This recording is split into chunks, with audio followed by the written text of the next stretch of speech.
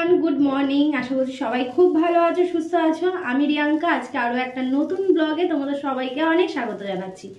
আজকের দিনটা হচ্ছে শুক্রবার, আর রান্নাঘর থেকেই আজকের ব্লগটা শুরু করছি। বাবা, পুড়ে যাস না। গতকালকে হেনা করে মানে কি বলব, এতটা ঠান্ডা লাগিয়ে ফেলেছি মানে বলার কথা না। কিন্তু কিছু করার নেই, ঠান্ডা লাগবে এটা আমি জেনে শুনেই করেছিলাম, কারণ আমার মানে হেনাটা করা প্রচণ্ড জরুরি ছিল। আর ঠান্ডা লাগাটা তো আমার একটু আধটু কিছু হলেই ঠান্ডা লাগতেই থাকে। কিন্তু এই ঠান্ডা লাগার ভয়ে যদি আমি চুলটাকে অবহেলা করি, সেটাও তো হয় না। তো এই জন্যেই আমার হচ্ছে মানে ইয়েটা, হেনাটা করা হয়েছিল। প্রচণ্ড ঠান্ডা লেগে গেছে। চোখ মুখ দেখে বুঝতে পারছ? প্রচণ্ড মানে একটু আগে এত হাঁচি হলো, কি বলব? আর আমার হাঁচি শুরু হলে ব্যাস, হতেই থাকবে। সকালবেলার খাবার বানাচ্ছি, গতকালকে পরোটা করেছিলাম। তো সেই পরোটা হচ্ছে আমার বর খেয়ে গেছে, আরও একটা ছিল, সেটা হচ্ছে লেলি ভলুকে দিয়ে দিয়েছি। তো আমি ভাবলাম আমার জন্য একটু ডিম টোস্ট করি। সকালবেলা কাকিমার কাছ থেকে একটুখানি পাউরুটি নিলাম। একটু না মানে একটা পাউরুটি নিলাম। তো সেটারই এখন প্রিপারেশন চলছে। এই যে এখানটায় পেঁয়াজ কুচি নিয়েছি, সাথে নিয়েছি হচ্ছে এই যে আন্ডা।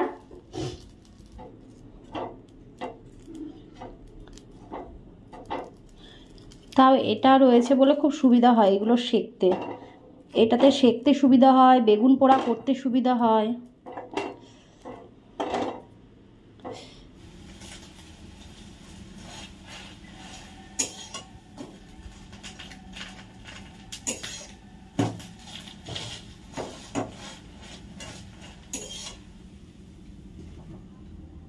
এদিকে ভাত বসিয়ে দিলাম, আর এদিকে আমার ডিম টোস্ট করা রেডি চলো, এটা এখন আমি খাব। আর আমার মুনু সোনাকে দেখবে? দেখা যাচ্ছে। ওই দেখো ওই দেখো ওই দেখো ওই দেখো। মুনু! আয়! আসো! হ্যাঁ আসো! খেতে হবে তো? চলো, আমার মনুষনা আমি দুজন মিলে সকালবেলার খাবার খেয়ে নিই। আর হ্যাঁ আমার বর সকালবেলা খেয়ে গেছে পরোটা। তখন তো বললাম, মনে হয় না, ভুলে গেছি। ভেবেছি হয়তো বলিনি। যাই হোক, সকালবেলায় মানে ঘুম থেকে উঠে বাসি কাজকর্মের সাথে আজকে এক্সট্রা কাজ কি করেছি জানো? পুরো টাইলস মুছেছি। মানে পুরো রান্নাঘরের টাইলসগুলো স্কচ বাইট দিয়ে ঘষে পরিষ্কার করে রান্নাঘরের কি বলে এই গ্রানাইটের ওপরটা পরিষ্কার করেছি গ্যাস পরিষ্কার করেছি সব কিছু টাইলসটা ধরো মাঝে মধ্যে যদি না পরিষ্কার করি না মানে আমি সপ্তাহে সপ্তাহে একদিন করে পরিষ্কার করি। এমনি তো নর্মালি রান্না করার সময় একবার একটু টেনে দিই, কিন্তু ওই স্কচ বাইট দিয়ে আমি ওই ছয় সাত দিন পর পরই পরিষ্কার করি। তো ওই জন্য আজকে ওই পরিষ্কারগুলো করলাম। ওই করতে গিয়ে একটু লেট হয়ে গেছে। তারপর পুজো টুজো দিলাম, দিয়ে এই নিজের জন্য খাবার তৈরি করলাম। আর দেখো, আমার বিড়াল এত আলিসি বিড়াল, এই যে এখানে গিয়ে শুয়ে পড়েছে, ওই দেখো। এত আলিশি বিড়াল আমার। এখানে শুচ্ছে, ওখানে শুচ্ছে, তাও আর ঘুম হচ্ছে না। সারা রাত কী করে ভগবান জানে, সারা রাত তো থাকে না। ওই জন্য মানে সারা রাত আর ঘুম হয় না। ওই জন্য বাড়িতে এসে সারা দিন পরে পরে ঘুমাবে, সারা দিন। চলো, খেয়ে নি। ঠান্ডা হয়ে গেলে আর এটা ভালো লাগবে না। গতকালকে তিন পিস মাছ ছিল, সেই মাছ তিনটে রেখে দিয়েছি, যেটা আজকে আমাদের হয়ে যাবে। আর এই যে এখানটায় হচ্ছে একটা আলু দিয়েছি, একটা আলু, কালো জিরে ফোড়ন দিয়ে পেঁয়াজ দিয়েছি। আর বাসি মাছ তো একটু পেঁয়াজ না দিলে ভালো লাগবে না, তো এটা একটুখানি ভাজা ভাজা হোক। আর এদিকে ভাতটা একদম হয়ে গেছে, চলো এবার ভাতটাকে নামিয়ে নিই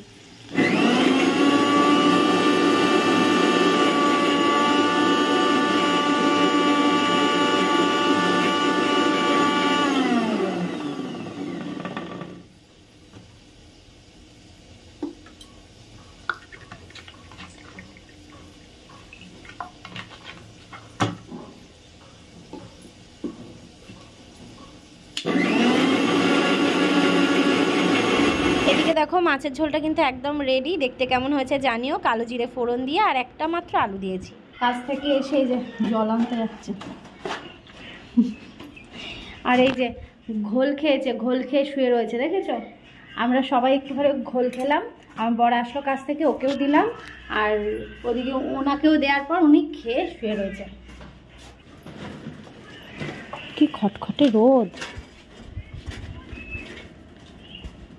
তুমি স্নান করে এসে না এই কাঠগুলোকে জলে দিয়ে দিও তো।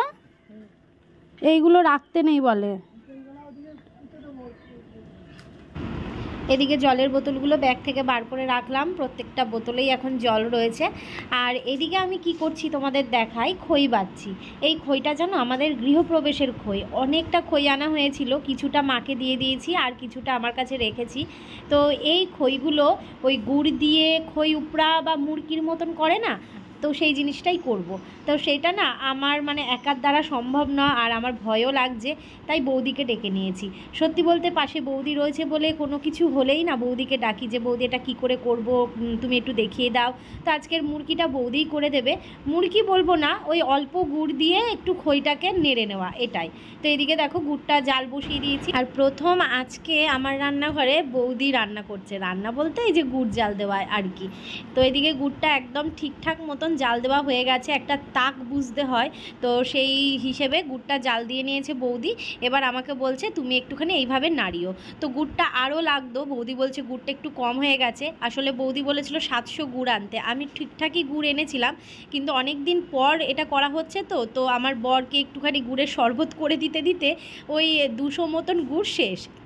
তো বৌদি আগে যদি আমাকে বলতো যে আরেকটু গুড় লাগবে, তাহলে আমি এনে দিতে পারতাম। কিন্তু তখনও বলেনি।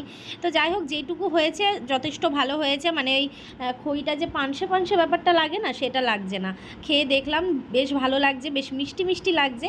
আর আমার না এই খইয়ের মধ্যে যে গুড় দিয়ে যেটা করে না, এটাকে আমার মা বলে খই উপড়া অনেকে আবার বলে মুরকি। কিন্তু আমি তো খই উপড়াই বলি। মানে খইটাকে গুড়ের মধ্যে এইভাবে নেড়ে নেওয়া দারুণ লাগে খেতে গো। আমি ভীষণ পছন্দ করি এটা খেতে। আর এটা করতে গিয়ে মনে পড়ে গেল সেই লক্ষ্মী পুজোর কথা।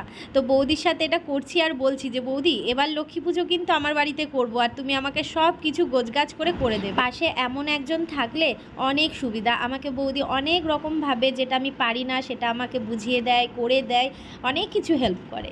যাই হোক, এই দিকে দেখো মুরগিটা হয়ে গেল আর একদম গরম গরম। তো বৌদি বলল একটু ঠান্ডা হলে তারপর ঝরঝরে হয়ে যাবে। তো আবার হাতে মানে সেই কি বলব, মোয়ার মতন করে দেখাচ্ছে। এই দেখো মোয়াও হয়ে যাচ্ছে। তো এটা মোয়া করব না, এমনি ঝরঝরেই থাকবে। আর মোয়া করতে গেলে অনেকটা গুড় দিতে হয়। অতটা গুড় দেওয়া ছিল না, কিন্তু তোমাদের দেখাবো। বেশ ভালোই হয়েছে, জানো তো? তো তোমরাও জানিও তোমাদের কার কার এটা করা দেখে লক্ষ্মী পুজোর কথা মনে পড়ে গেল, আমার তো মনে পড়ে গেল, জানো তো? এদিকেই যে মুরগি বানানো হলো, তবে গুড়টা কম হয়ে গেছে। আসলে গুড়টা ঠিকঠাকই ছিল, জানো তো? গুড়টা অনেক দিন আগেই এনেছি। ওই আমার বরকে রোজ গেলে একটু শরবত করে দিয়েছিলাম, ওই জন্য একটু কম হয়ে গেছে। যাই হোক, মিষ্টি মিষ্টি আছে, অসুবিধা নেই। এই দেখো, ঠিক আছে? পুরো ওই সাদাটে থাকার থেকে অনেক ভালো। এটাকে আপাতত কিছু দিয়ে ঢাকি, পেপার টেপার দিয়ে ঢাকি, তারপর ঠান্ডা হলে কোটো টোটোর মধ্যে রাখব। ওদিকে আমার বরকে খেতে দিয়েছিলাম, ও খাওয়া দাওয়া করে যে শুয়ে রয়েছে। ওখানে খাবারটা রয়েছে, আমি এখনও খাইনি, আমি এখন খাব। ওকে খেতে দিয়েই তারপর হচ্ছে এই বৌদির সাথে এগুলো করছিলাম। আমি কিছু করিনি, আমি শুধু এই খইটাকে নেড়ে দিয়েছি, বৌদি সব কিছু করেছে। আমি না পারি না, আমার ভয় লাগে। যদি ওই গুড়ের তাকটা না বুঝতে পারি, এটাই। চলো, একটু একটু ঢাকি, ঢেকে খেয়ে নি, খুব খিদে পেয়ে গেছে। তো এইদিকে ভাত বেড়ে নিয়েছি, চলো এবার খেয়ে নিই। অনেকটা বেলা হয়ে গেল খেতে খেতে। আর আমার বরের আর মনুসোনার খাওয়া হয়ে গেছে। মনুসোনা খাওয়া দাওয়া করে ওই ঘরে ঘুমোচ্ছে খাটের তলায়, আর আমার বর এই যে পাশে রয়েছে। চলো খেয়ে নিই দুপুরবেলায় একটা লম্বা ঘুম দিয়ে বিকেলবেলায় এখন কিছু কাজ সেরে নিলাম। আমি গ্যাসটাকে পরিষ্কার করলাম কারণ রান্না টান্না করে না গ্যাসটা আর পরিষ্কার করা হয়েছিল তো এখন সেই কাজগুলোকেই করে নিলাম। একটু পরে সন্ধে দেবো তার আগে ভাবছি একটুখানি ফ্রেশ হয়ে নেব মানে একটু গা ধোবো প্রচণ্ড গরম পড়েছে আর এই সেই সকালবেলা স্নান করেছি তারপর যদি আমি একটু বিকেলবেলা গা না ধুই না তাহলে যেন ভালো লাগবে না। জানি ঠান্ডা লেগেছে কিন্তু এই গরমের ঘামটা যদি গায়ে বসে না তাহলে কিন্তু আরও ঠান্ডা লাগবে। তাই একটু ফ্রেশ হয়ে সন্ধেটা দিয়ে নেব।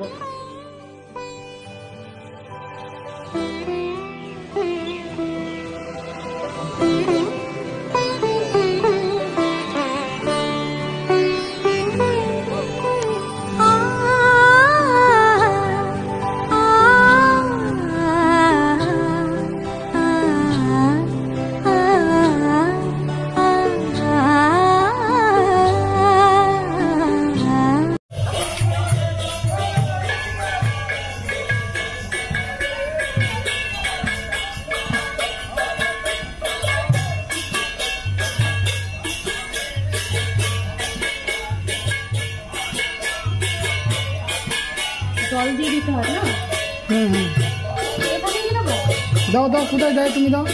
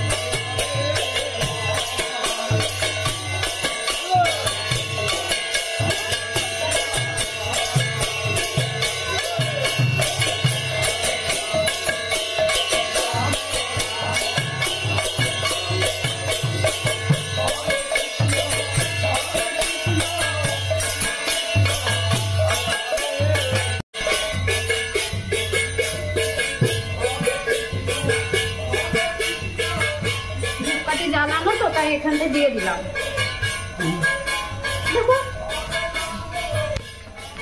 চলো।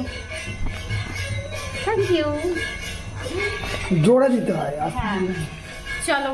আমাদের বাড়িতে নগর এসেছিল এই নিয়ে দ্বিতীয় দিন নগর আসলো। এর আগেও একদিন এসেছিল। এটা এক মাস ধরে হবে। এটা এই বৈশাখ মাস জুড়ে নগর হবে মানে নগর পরিক্রমা বলতে পারো। সবার বাড়িতে বাড়িতে এই একটা মাস মানে বৈশাখ মাস জুড়ে কিন্তু কীর্তন হবে। তারপর একটা দিন মানে এই মাসের শেষে না গো? হ্যাঁ। হ্যাঁ, এই মাসের শেষে গিয়ে তারপর একটা মহোৎসব হবে তাই তো? হ্যাঁ মহোৎসব হবে। সারাদিন হ্যাঁ, সেখানে কীর্তন হবে সারাদিন আর শেষে ভোগারতি হবে। ভোগারতি হয়ে সবাই মিলে এবার সারা পাড়ার যত মানুষের বাড়ি মানে এই যতটা লোকালিটি থেকে এরা এগুলো কালেক্ট করছে, বাড়ি বাড়ি যাচ্ছে, সমস্ত বাড়ির লোকজন ওখানে যাবে, ওখানে গিয়ে খাওয়া দাওয়া করবে। হ্যাঁ হ্যাঁ হ্যাঁ এই।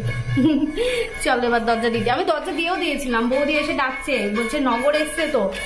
হ্যাঁ আমি মানে সবকিছু গোছগাছ করে রেখেছি, আসলেই আমি দেবো।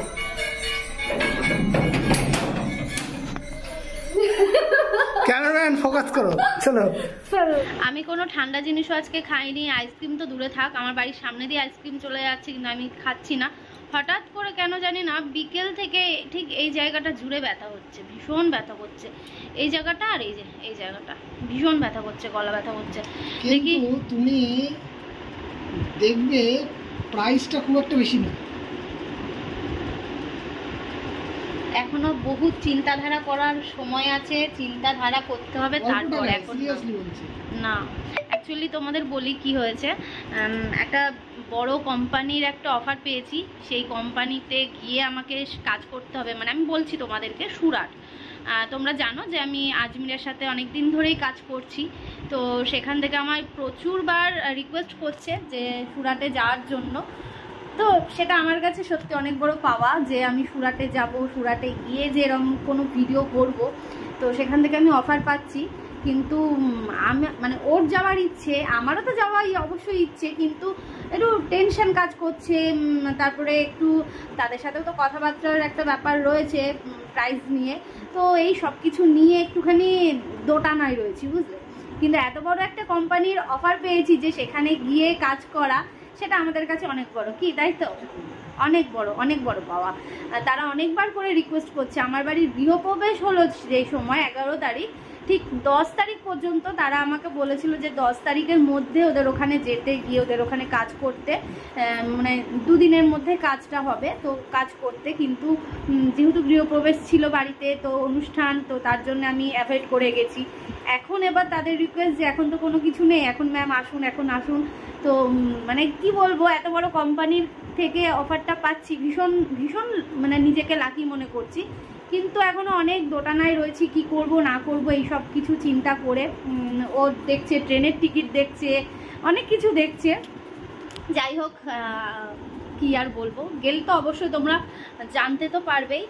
কারণ এই নিউজটা আমি তোমাদের যেমন দিলাম, যদি আমি যাই তাহলে তো অবশ্যই তোমরা জানতে পারবে। যখন দীঘায় যাওয়ার কথা বলেছিলাম, তখন তোমরা বলেছিলে যে, বুঝতে পেরেছি তুমি সুরাট যাচ্ছ, কিন্তু না, তখন তো দীঘায় গেছি, তোমরা দেখেইছো। তো এরপর যদি যাই, তাহলে অবশ্যই তোমরা দেখতেও পাবে। তবে তোমরা কি কেউ সুরাট থেকে আমার ব্লগ দেখো? দেখলে অবশ্যই কমেন্ট করে জানিও তো। জানি না, তোমরা তো অনেক অনেক জায়গা থেকে আমার ব্লগ দেখো।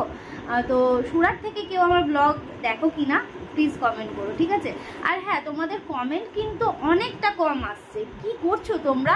একটু সময় করে একটু কমেন্ট করো, আমার খুব ভালো লাগবে। যাই হোক গলা ব্যথা করছে, একটু গরম জল মানে কি বলব, গালগাল করব। আর আমাদের বাড়িতে নগর এসেছিল, তোমরা তো দেখতেই পেলে। মানে প্রত্যেক দিন মানে এক একটা পাড়া করে যায়।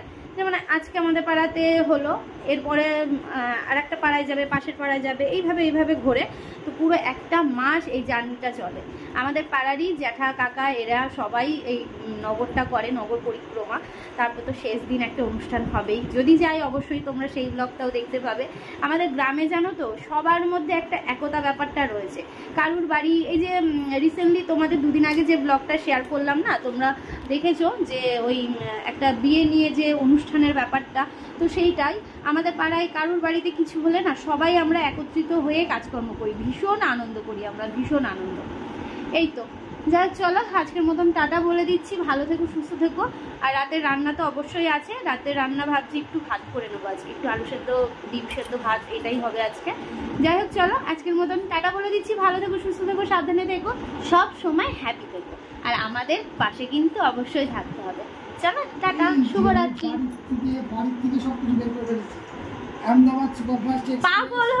ও, পাগল হয়ে যাবে। আচ্ছা আচ্ছা গুড নাইট বলো, তারপর ওই সবের চিন্তা ভাবনা করছি গুড নাইট